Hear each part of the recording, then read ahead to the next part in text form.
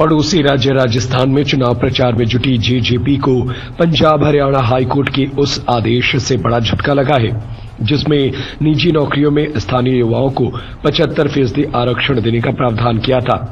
साल 2019 में ताऊ के कुनबे इनेलो से टूटकर बनी जेजेपी ने खुद को सियासी मैदान में स्थापित करने के लिए हरियाणा की जनता से दो बड़े वादे किए थे। और उसने अपने चुनावी घोषणा पत्र में बुज़ुर्गों की पेंशन बढ़ाकर पाँच हज़ार एक सौ रुपये प्रति महीना देने और निजी नौकरियों में प्रदेश के युवाओं के लिए पचहत्तर फ़ीसदी आरक्षण देने का वादा किया था। अगर पहले बात करें बुढ़ापा पेंशन की तो मौजूदा समय में बुज़ुर्गों को दो हज़ार सात सौ महीने मिल रहे हैं। इसी महीने की दो तारीख को हरियाणा सरकार ने जनवरी 2024 से बुढ़ापा पेंशन तीन हज़ार करने का वादा किया है। इसी के उलट बीजेपी ने अपने घोषणा पत्र में बुढ़ापा पेंशन को हर महीने तीन हज़ार रुपये करने की घोषणा की थी। ऐसे में बीजेपी ने अपना वादा पूरा कर लिया है, जिसके चलते अब बुढ़ापा पेंशन बढ़ने की बहुत ही कम उम्मीद है। अगर सरकार बढ़ाती भी है तो इक्यावन सौ की घोषणा कभी नहीं करेगी। चुनाव के दौरान जीजेपी ने जब वादे की घोषणा की थी तो उस दौरान मुख्यमंत्री मनोहर लाल खट्टर ने चुटकी लेते हुए घोषणा को जमीनी सच्चाई से दूर बताया था।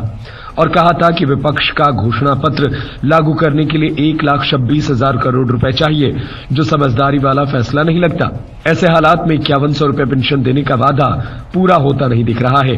हालाँकि जेजेपी नेता दुष्यंत चौटाला कई बार अपने दिए बयानों में कह चुके हैं, अगर उनके पास सैतालीस विधायक होते तो वो इक्यावन सौ पेंशन जाने कब कर चुके होते? चलिए, अब करते हैं जेजेपी के दूसरे और बड़े वादे की। और वो था निजी नौकरियों में हरियाणा के युवाओं को पचहत्तर फ़ीसदी आरक्षण देने का। जिसको बीते दिन हाईकोर्ट ने खारिज कर दिया। राजस्थान में भी चुनाव प्रचार के दौरान पार्टी प्रमुख और राज्य के डिप्टी सीएम दुष्यंत चौटाला ने कहा कि अगर वो सरकार में आते हैं तो वो राजस्थान के युवाओं को भी निजी नौकरियों में आरक्षण देंगे। राजस्थान में 25 को चुनाव होने हैं।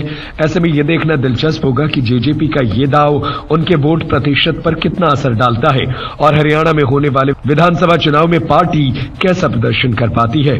ब्यूरो रिपोर्ट, सत्य खबर। सत्य खबर सत्य सटीक बेबाक।